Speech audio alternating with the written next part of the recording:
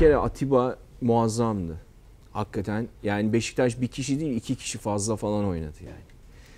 Şimdi Beşiktaş'ın futbolundaki mesela hocanın ben dün e, açıklamalarına biraz takıldım. Hani iyi şeyler kötü şeyler tabii ya bir dakikayla bütün moral motivasyonu değişti. Camianın evet. yani sadece takımın hocanın değil. Onun için gerçekleri gözden kaçırmamak lazım.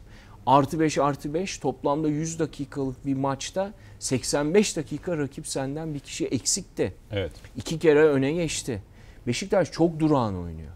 Yani hocanın Başakşehir'deki evet o taktik, o diziliş, o e, görüntü yok. Bir kere hamur çok farklı. Zaten e, yanlış olur hep aynı şeyi beklemek. Ama yani Başakşehir'deki o hatırlasana kanatlardaki üçgenleri, beklerin geldiği zaman işte içeri kat edenler, işte orta sahadan içten orayı üçgenlere hiçbiri yok Beşiktaş'ta. Beşiktaş'ın en hareketli, Beşiktaş'ı harekete geçiren, kıpırdatan 37 yaşındaki Atiba. Evet. Bir de tabii oyuna girdikten sonra Umut. Hakkını yemeyelim. Yani çok durağan oynuyor Beşiktaş. Yani sürekli ortalarla. Sen 3 tane ortayla geldi gol. Hoca başka türlü açamazsın diyor ama başka türlü de açabilirsin. Bir kere hareket etmiyor Beşiktaş yani. Hani belli oyuncular. Dün evet çok kötü oynayan birkaç isim vardı. Özellikle e, yani gol deyince akla gelecek iki isim Laiç ile Burak, Burak çok kötüydü. Sahanın en kötüsü Burak'tı bence. Ondan biraz daha iyisi Laiç'ti.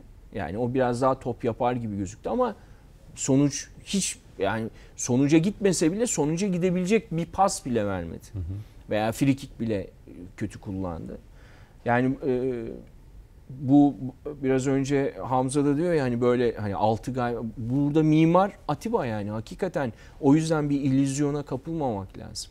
Hani e, hala işlemeyen noktaları da görmesi lazım Beşiktaş'ın. Yani herkes Umut'u konuşuyor ama e, bence dün Umut'un önüne koyuyorum ben Atiba'yı.